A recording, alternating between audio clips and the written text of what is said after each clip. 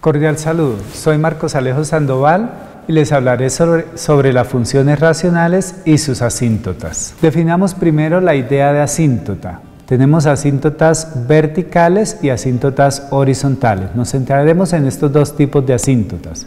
Por asíntota horizontal interpretaremos como una recta horizontal en la cual cuando la función el x se hace muy muy grande, la curva se acerca a la recta horizontal. La asíntota horizontal la miramos cuando la x tiende al infinito o a menos infinito, cualquiera de los dos.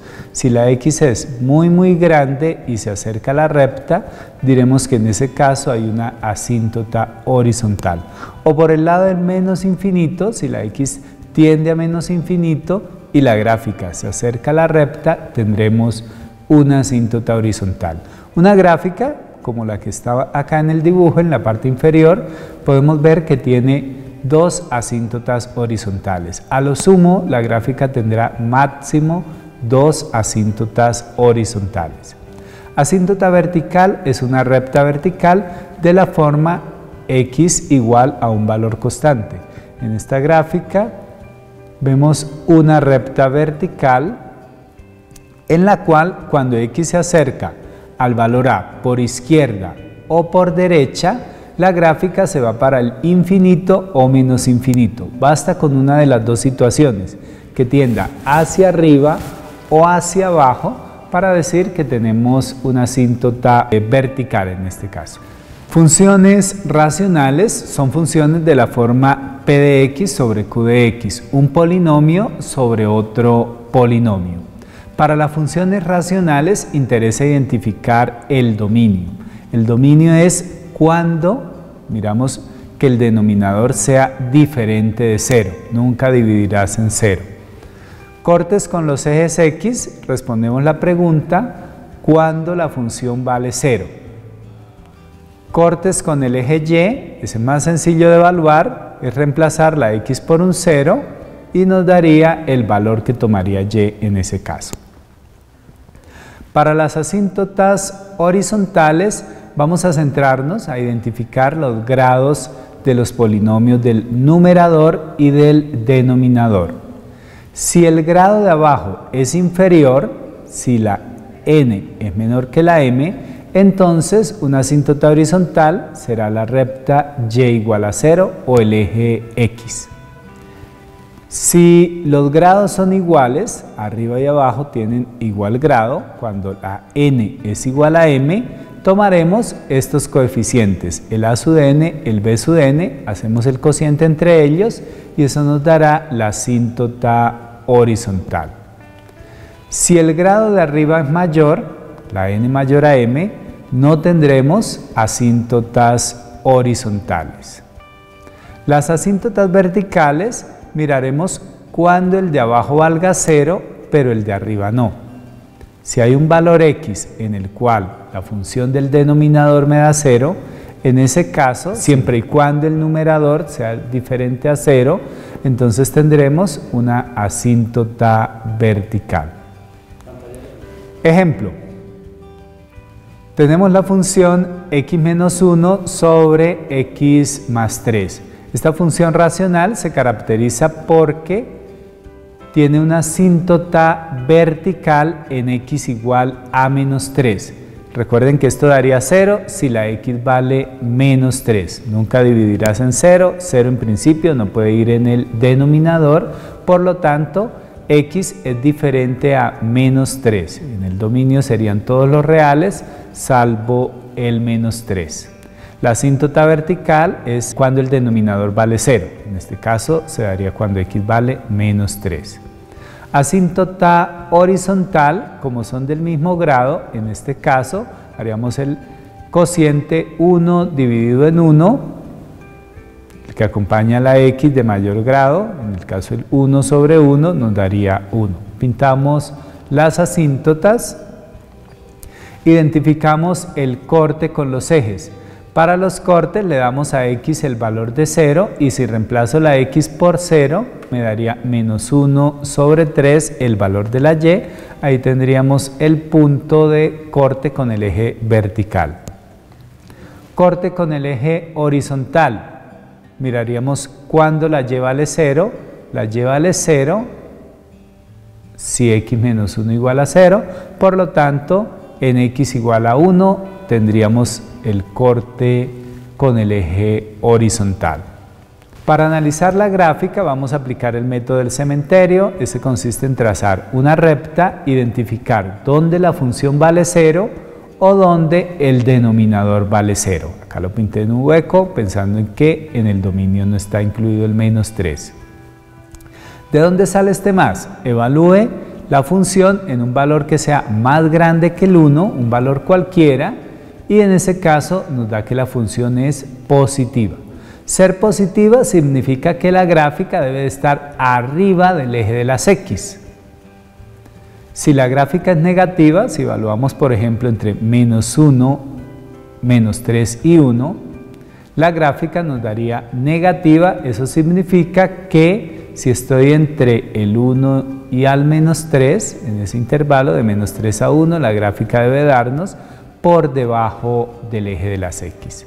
De menos 3 hacia la izquierda, la gráfica es positiva, evalúe en un número cualquiera que esté a la izquierda de menos 3 y ese cociente arriba da negativo, abajo da negativo, negativo dividido en negativo, me daría en total positivo. ¿Qué significa esto? Que la gráfica estaría positiva o arriba del eje de las X y teniendo presente que debe de acercarse a una asíntota por este lado y a la otra asíntota cuando se va para el menos infinito. Bajo esa idea, la gráfica nos quedaría más o menos de esta forma. Otro ejemplo, tenemos la función x más 1 sobre x al cuadrado menos 1. Para ella vamos a factorizar y simplificar. Factorizando y simplificando tendríamos 1 sobre x menos 1, pero le agregamos aquí la condición de que x es diferente a menos 1 y también x diferente a 1.